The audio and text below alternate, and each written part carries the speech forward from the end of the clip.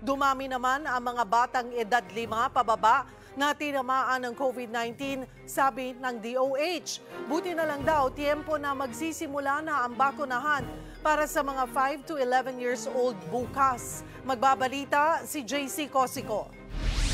Kasunod ng patuloy na pagbaba ng COVID-19 cases, balik na sa moderate risk classification ang buong bansa sabi ng Department of Health. Kung i-check ang COVID-19 trend base sa datos ng DOH, mapapansin na simula noong January 25 ay pababa na ang bilang ng new cases. At kahapon nga, higit 7,000 kaso na lang ang nadagdag, pinakamababa sa loob ng halos isang buwan. Bumaba na rin ang positivity rate sa 35.4% kumpara sa peak noong January 18 na aabot sa 46.8%. Hindi na rin ganoon kapuno ang mga ospital at ICU.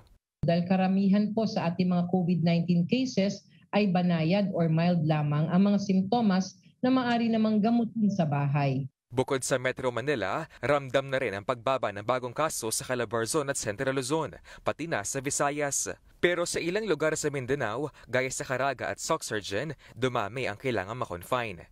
Napansin din ng DOH ang pagtaas ng COVID-19 cases sa mga batang edad 5 pababa.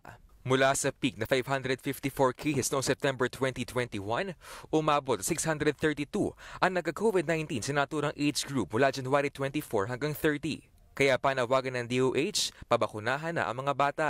Ngayong araw nakaschedule dumating sa bansa ang unang batch ng Pfizer vaccine na may pediatric formulation. 780,000 doses ang kasama sa unang batch. Sa biyernes na ang simula ng vaccination ng mga edad 5 hanggang 11.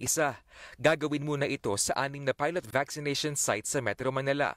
Ang Philippine Heart Center, National Children's Hospital, Philippine Children's Medical Center, PhilOil Gyms sa San Juan City, Manila Zoo at SM North EDSA. Para sa 1PH, JC Cosico, News 5.